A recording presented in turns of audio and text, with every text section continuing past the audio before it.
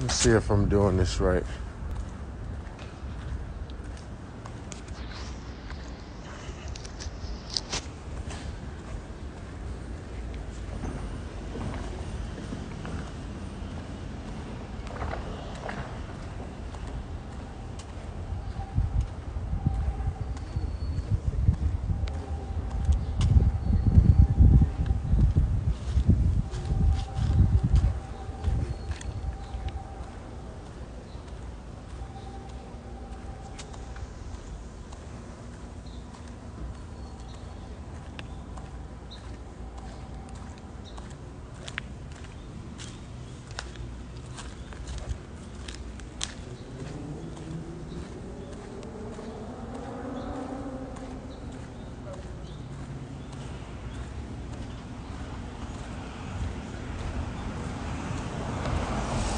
I got one view on this. How this work?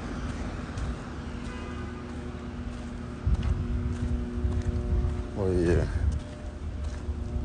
This is Anthony right here, checking in. on International Grind.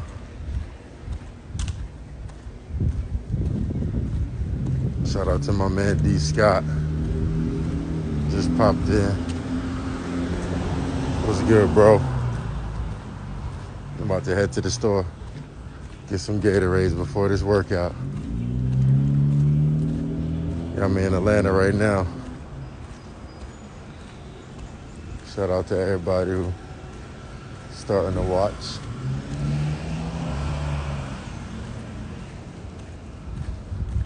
I'm in Atlanta right now. I'm in Georgia. It's open. One of the first cities open, so I got out here started training, working out. Appreciate what you're doing with this, D. Scott. Thought it was pretty dope. Just giving the fans opportunities to speak to different people, different players. Seeing Jordan, I ain't in no no stores going shopping. I'm about to go get some water. For me, staying in shape, I just been on the court. I ain't do too much conditioning.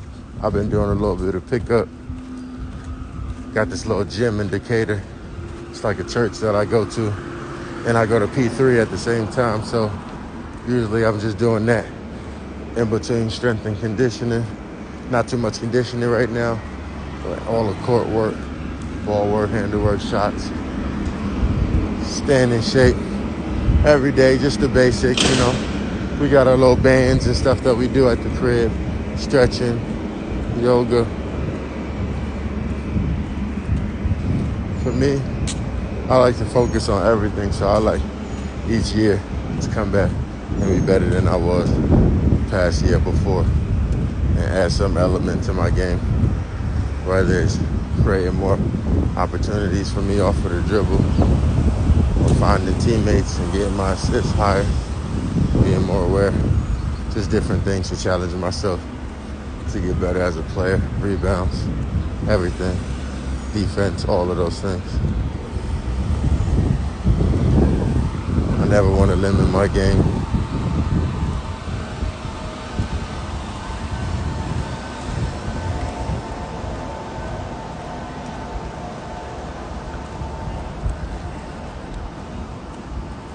But yeah, the overseas experience is pretty different, especially than the league.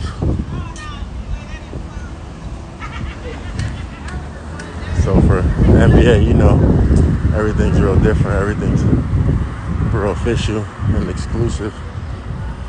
Overseas is probably more of a grind where there probably isn't as many staff members, so isn't as many trainers, there's as many people in the in like the rooms where you can go get treatment. So like learning how to manage those things on your own making sure that you're well stretched, prepared. Some teams have trainers, some teams don't. Having all of your stuff with you, all of your gear. I mean, it's still a great experience. It's still amazingly fun. And it's professional basketball, but the NBA just has a different level of finance to really provide to each team, each player that provides you a certain type of like luxury that overseas doesn't have. Some teams do, maybe closer in the Europe and things like that.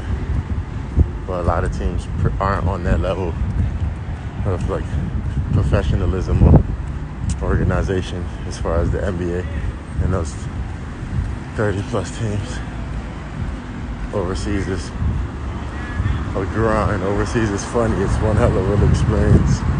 There's different places. Some people probably have more bad experiences. I have some pretty dope experiences, some pretty good experiences. I played in Japan. I played in Japan and Saudi Arabia. And in both those countries was pretty good. Pretty crazy, but pretty good at the same time. So I had fun.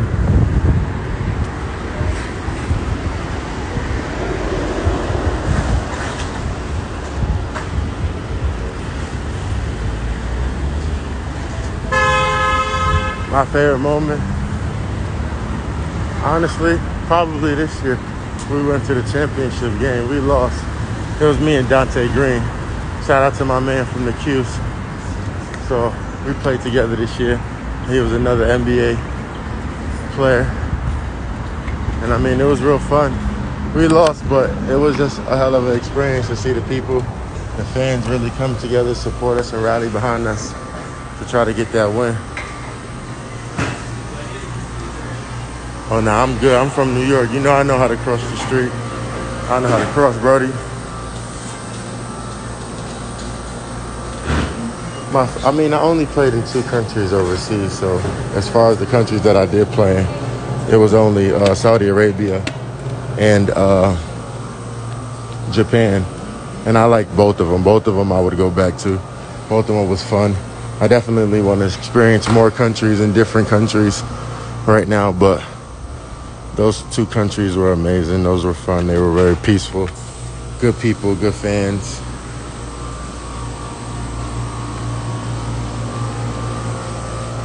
The hardest adjustment, I would say, is just sometimes like you there by yourself, you there dolo, you know? So you just gotta really be cool with that.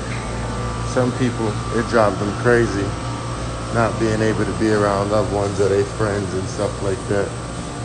And the first year was like, woo, it was tough. I flew my trainer out. I flew one of my boys out. So you got to just make sure you find ways to keep your brain active and fresh and locked in.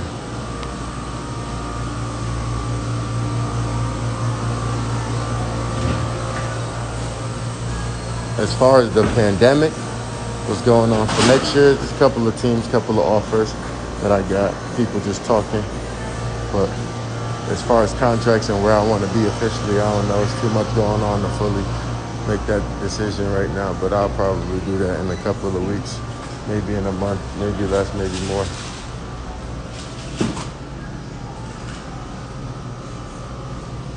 I mean, for me, I had a long path, so the kids that's coming up taking my path as far as prep school. I went to junior college. Then I transferred before I actually got drafted. I just would suggest them to just be resilient. So yeah. My bad we got disconnected, but I just suggest that y'all just keep working hard, stay resilient, and know what you want. I mean, it don't matter what anybody else think or the situation that you're in right now. Just keep working hard. There's a lot of people that create opportunities for themselves that you would have never thought just out of just wanting it and kind of putting themselves in the right position. By doing the right things.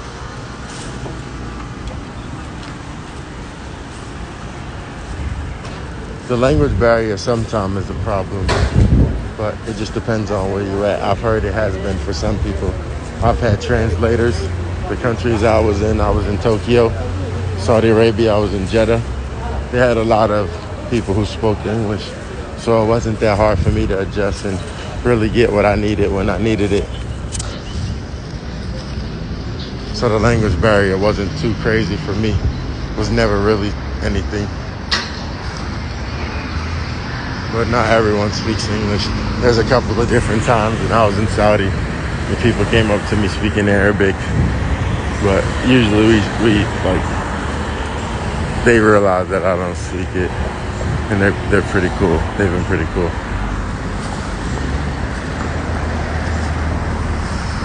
I mean, being away from home, I've been away from home, you know, since 15, 16. I moved upstate to the boondocks out of the city. I was away from home and I went to school up there. Everybody else was in the city. Then I had left and went to prep school, Mount Zion Christian Academy in Durham, North Carolina. Then I came back to New York. But I still wasn't home. I was close enough so being away from home, I'm used to it. Because I mean, whenever I do want to see my family, I miss my family. Luckily, we're in positions to be able to fly them out or go there when there is a break and spend that time, you know.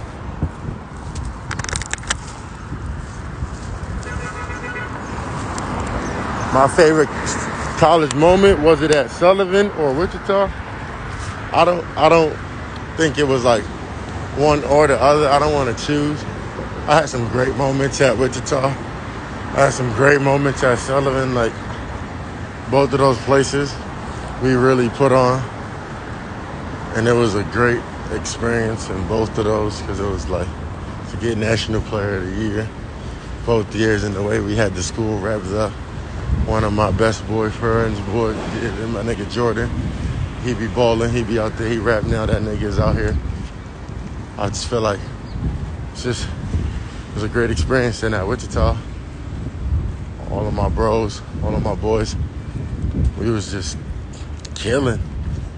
And the way that went, first year Final Four, next year, and to see what they're doing in their careers, all of those, all of those was just very fun experience. I can't choose. I had some great moments at both. It was, it was too lit. Like Wichita, I had some really great moments, you know, but I did at Sullivan as well.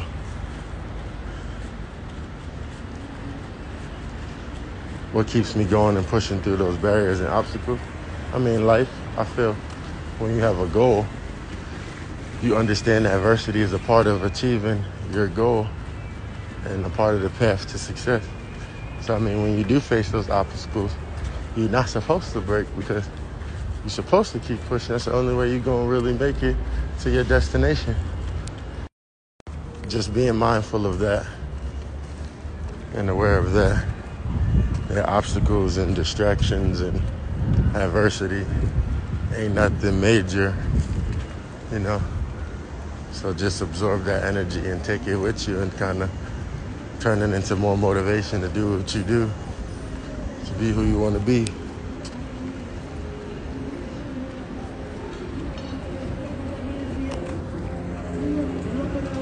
Appreciate that.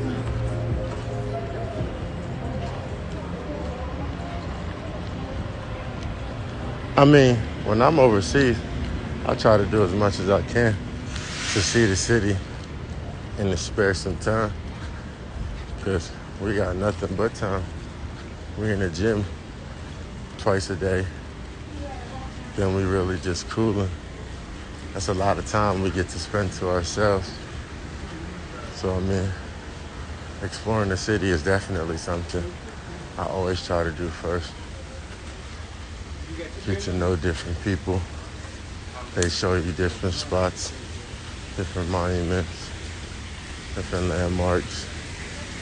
Go to see different stores, different restaurants, you know, trying different foods, the high key ones, the low key ones so I think it's pretty cool.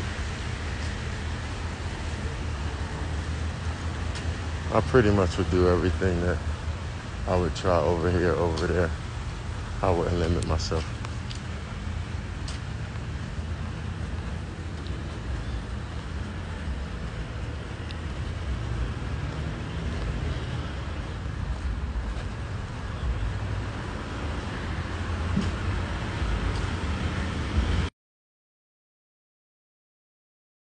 I watch a lot of movies. I even started getting into writing movies and having different ideas in that nature. So, Netflix, Hulu, Amazon Prime, they all been my best friends. I read some books. I'll be trying different shit. Be trying to meditate. I need to pick up a video game. I heard all the new games out here is pretty lit. So I might start doing that. But yeah, man, this is pretty dope. Next time they should have somebody come up going live with me. Start talking maybe a little bit more interviews type setup. Well, this is pretty cool. Chat with y'all for a little bit. Probably gonna lose service, so I'm gonna wrap it up in a little bit. I appreciate y'all coming on, asking some questions, getting with me. It's hot outside. Let me see if I scroll through here, see if I missed anything. Miss any questions? Appreciate you. Fire drill. It's good, Meech. He was in here. Juco products, that's a fact. Yeah, I pretty much got everything. Appreciate the people that came through. D Scott, this is lit. Have fun. Yeah, man. This whole thing is fun. Just gotta keep working hard, making the most of it, being smart, saving what you earn, enjoying what you earn, using this basketball thing as a vehicle, take you to destinations, take you to places you ain't never expect to think you'd see, doing things you never thought you'd do. You know, just being able to live that dream has been awesome. Getting to the NBA, potentially being able to get that, working hard, staying in shape, being in a position to feed myself and my family. It's all great news. It's all a blessing. Appreciate you allowing me to share my story and keep up with my fans. Appreciate y'all coming on here.